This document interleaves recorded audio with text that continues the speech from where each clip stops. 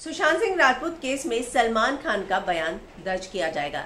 इस तरह की खबरें जो है, कल से काफ़ी चर्चा में है और कई जगह शायद आपने देखी भी होगी। लेकिन इस खबर के पीछे का सच क्या है, मैं हिना कुमावत आपको फ़िल्म विंडो पर बताऊँगी। दरअसल आपने देखा होगा बहुत जगह कि सलमान का बयान दर्ज किया जाएगा। फ़िल्म विंडो के पास भी ये खबर आई थी। लेकिन फ़िल्म विंडो कभी भी, कोई भी खबर बिना कॉन्फर्मेशन के आपके पास नहीं लेकर आता है। और इसीलिए आज तक एक भी हमारी ऐसी खबर नहीं है जो गलत साबित हुई हो। आप लोगों के बहुत सारे इमोशंस जुड़े हुए हैं इस केस के साथ। हालाँकि मैं आपको सलमान की खबर का भी सच बताती हूँ। उसके पीछे लोगों ने बहुत सारी इमेजिनरी थियोरीज भी लगाई कि जो सोशल मीडिया पर चल रहा था, सूरज के साथ कनेक्शन इसके लिए उसकी जाँच होगी। रेशमा शेट्टी ने बयान में उनका नाम लिया है, इसलिए उनकी जाँच होगी। या फिर ये भी आया कि सलमान ने अपने प्रोडक्शन हाउस की एक फ़िल्म में से उसको निकाल दिया था। इस तरह की सारी इमेजिनरी थियोरीज आपने सुनी होंगी।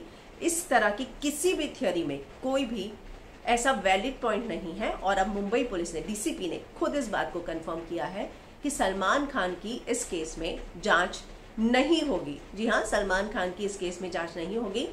जैसा कि फ़िल्म विंडो आपको पहले ही बता चुका है कि इस केस को अब दो हफ्तों में मुंबई पुलिस रैप अप करने वाली है। शेखर कपूर का इन पर्सन में जो बयान लिया जाना है, वो बाकी है।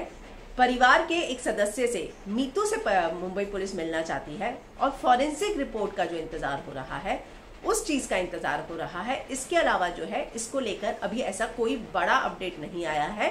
और आज जो है उनके फैमिली के करीबी ने इस बात को उठाया है कि उनको फिंगरप्रिंट्स का भी प्रूफ चाहिए। हालाँकि मुझे लगता है जो फॉरेंसिक रिपोर्ट जो दो हफ्तों में आने वाली है, जिसको बॉडी रिपोर्ट भी होता है और एक जो है मैंने आपको बताया था कि किस तरह से जो उनके घर में सामान मिला है, उसके फिंगरप्रिंट्स का रिपोर्ट होता है। वो दो हफ्तों में मुंबई पुलिस को मिल जाएगा। तीन दिन पहले मैंने आपको एक खबर बताई थी तो मुझे लगता है कि और दस बारह दिनों में वो जो है मुंबई पुलिस के हाथ लग जाएगी।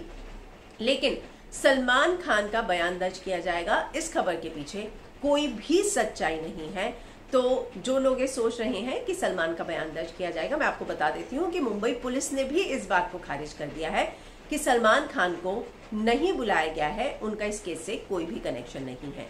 तो अगर आपको सारी सही, सच्ची और खरी खबर चाहिए तो आप जो है फ़िल्म विंडो पर हम जो है लगातार आपके लिए कुछ ऐसे अपडेट्स लेकर आते हैं जो वाकई में कंफर्म हो कंफर्म सोर्सेज से पता चले और जो खबरें सही और सटीक हो।